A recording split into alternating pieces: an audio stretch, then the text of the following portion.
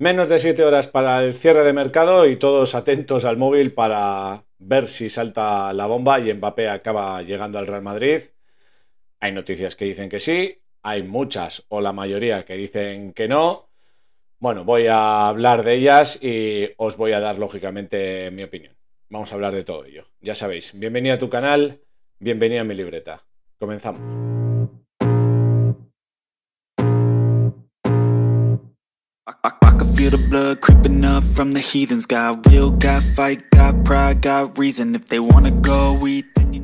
Hola a todos, bienvenidos al canal, bienvenidos a este vídeo de la última hora de fichajes en el mercado del Real Madrid.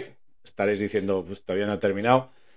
Eh, quedan 7 horas todavía cuando emita este vídeo, 5 mm, de la tarde, eh, pero vamos, la esperanza de que tengo de que venga alguien es nula, es cero tengo un 1% de que venga un delantero, el que sea, y tengo un 2% de que venga Mbappé. O sea, eh, y estoy tirando muy para arriba. Sé que esa es mi expectativa, a pesar de que hay noticias que apuntan a que, bueno, puede haber alguna, algún tipo de esperanza, como por ejemplo la de los fichajes de Barcola y Colomwani por el Paris Saint Germain, el, el internacional francés ex de, ya del Eintracht de Frankfurt, ha sido este, esta misma mañana cuando se ha hecho oficial el fichaje por el Paris Saint Germain y ayer se cerró el de Barcola, por lo tanto otros dos delanteros para la delantera del Paris Saint Germain y bueno, una vez que se ha hecho estos fichajes, pues eh, mucha gente está con la esperanza de, bueno, el Paris Saint Germain ha fichado a los sustitutos de Kylian Mbappé, tiene siete delanteros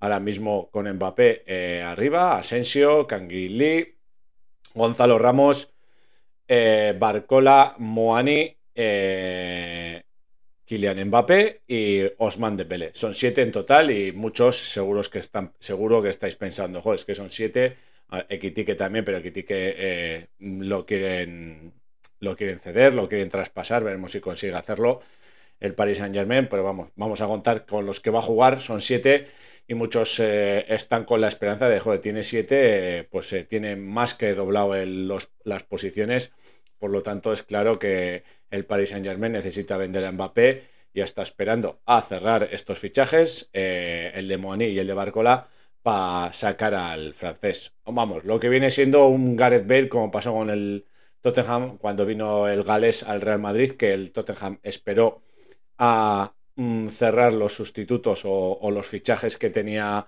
pensado hacer antes de anunciar el, traspaso de Gareth Bale. Pero la diferencia es que el Paris Saint Germain no necesita. Eh, no tiene problemas de dinero, para que me entendáis. No tiene problemas de fair play financiero como se está comunicando. El fair, el fair play financiero en Francia eh, lo que te exige es que tú tengas liquidez para cubrir esos gastos que tienes, que tengas solidez económica y esto es un problema que el Paris Saint Germain no tiene y si es que lo tiene, pues vende un jugador suyo a Qatar, como hizo con Berratti y problema solucionado. Eh, esta idea del fair play financiero que el Paris Saint Germain tiene que vender, olvidaros de ella, eh, porque se ha demostrado durante los años que no tiene sentido. En cuanto a los sustitutos, pues esto lo mismo que pasó eh, en el verano del 2021 cuando fue Messi, que todos, bueno, pensamos que, bueno, llega Messi, mm, sale Mbappé y al final se quedaron Messi, Mbappé y Neymar. No salió, ni salió ninguno y entró el argentino. Así que claramente mm, mm, esto para mí es sumo, más luego está la noticia que no os la quise traer al canal porque es que la di muy poco sentido la de Voz Populi con el, eh, con el periodista Joaquín Hernández, que parece que debe ser un buen periodista con el tema económico, pero con el tema deportivo parece que no se entera que este es un caso especial, no es un caso normal al uso, que con la información que él le podían haber dado, eh, lógicamente podía servir, pero es un caso muy, muy especial. También se habló que ese stories de Instagram que puso Kylian Mbappé, en el que puso un símbolo de una bomba, dos manos llegando a un acuerdo y fuego. Se interpretó como A o renovaba o B eh, fichaba por el Madrid y está claro que no ha pasado ninguna de las dos. Por lo tanto, otra vacilada más de Mbappé que le gusta vacilar a la gente y sobre todo yo creo que a la prensa. Yo creo que lo hace para hacer la puñeta a la prensa claramente. Y bueno, mm, lo dicho, todas las noticias, hay noticias que nos pueden dar a, tener la esperanza de, que vaya a venir, pero si hacéis un repaso de noticias anteriores o pequeños detalles que nos daban esperanza anteriormente, eh, al final han, acabado en saco roto, han acabado en fracaso, por lo tanto, eh, lógicamente, olvidaros de este tema, del tema de Kylian Mbappé. Veremos para 2024 porque lo veo más complicado. De hecho, al ha dicho, bueno, también se había interpretado las declaraciones de Alkelaifi, si es que mm, eh, no hay más el que no quiere ver las declaraciones de ayer al en el sorteo de la Champions, en las que dijo, os leo literalmente, Mbappé es jugador del Paris Saint Germain, hemos tenido muy buenas conversaciones con él, es un magnífico jugador, también como persona y como profesional. Hemos hablado con el resto de su familia, o sea, barra su madre. Muchos decían que no estaba siendo rotundo, que no estaba diciendo que Mbappé va a continuar en el Paris Saint Germain rotundamente, que estaba siendo, bueno, mm, que no daba, daba muchas cosas a entender, no afirmaba nada. Y, pero es que, mm, lógicamente, lo que dice es que Mbappé es jugador del Paris Saint Germain. No sé qué más tiene que decir eh, para decir que se queda.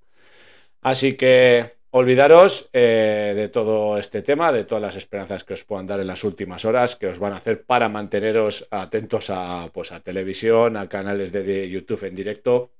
No va a venir. Eh, olvidaros, no perdáis el tiempo mirando el móvil y mirando programas de televisión, disfrutar de la tarde, porque el jugador francés no va a venir. No es información, lógicamente, soy el, que, menos información tiene del mundo, pero eh, si hay medios como o, periodistas como Mario Cortegana, que es de los que el año pasado anunció que no iba a venir y ha dicho que él no ve por ningún lado que vaya a venir.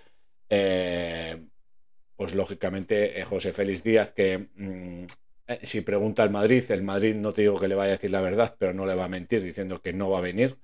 Así que olvidaros de este tema. Lo único que veo es que, bueno, ya ha habido una salida, que es la de Renier que se va al, ¿cómo se llama el equipo italiano? El Frosinone, creo que se llama, el, equipo italiano, no lo conozco. Se va cedido un año eh, hasta 2024, eh, luego regresará. Y bueno, el que parece que ahí andan ahí negociando con la Real, aunque parece que no llegan a un acuerdo, es con Odriozola, el Real Madrid con, con la Real Sociedad para la salida de Odriozola. Veremos si llegan a un acuerdo y conseguimos que salga Odriozola y hacemos hueco en, la plantilla para que puedan subir canteranos, no para que vengan fichajes que no van a venir.